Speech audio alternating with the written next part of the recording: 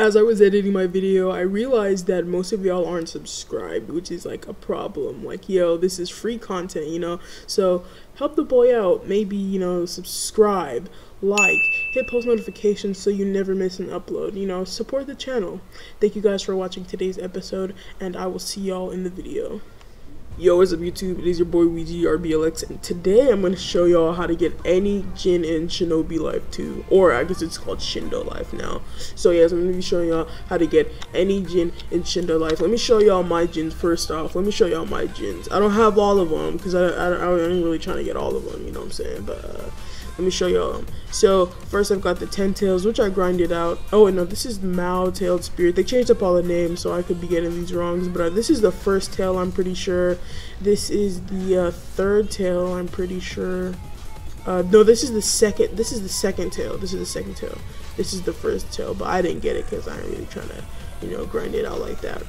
But yeah, so I'm gonna show y'all how to get any Jin in the game. So first off, what you guys want to pretty much do alright, is join my Discord down below because if you don't have private server creator, you're gonna really need it. It can work without private server creator. I mean, honestly, this video was made for, for people who can't afford it.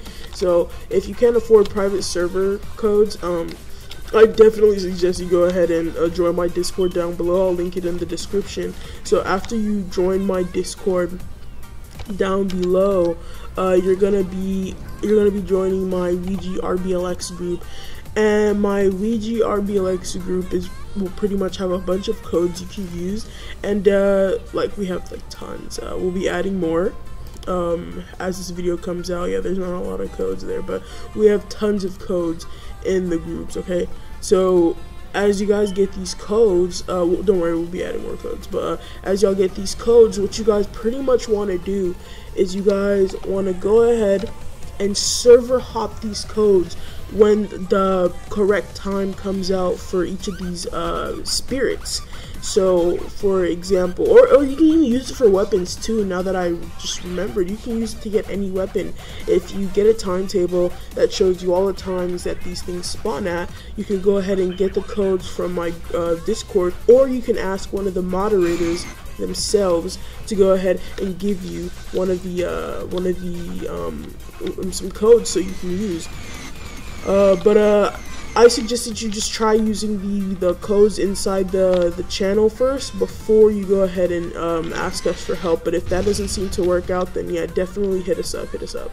So yeah, so after you server hop, um, we'll, also server hop for you if you're not having it. If you're having no luck, just ask us to server hop as well as you're server hopping. And hey man, we'll, help you out with that. You know, there's nothing too, it's nothing too crazy. You know, if you're a sub, if you're a sub, I mean, hey, there's nothing I won't do for y'all. So, anyways that is how to simply get weapons and uh, Jins in Shinobi Life 2.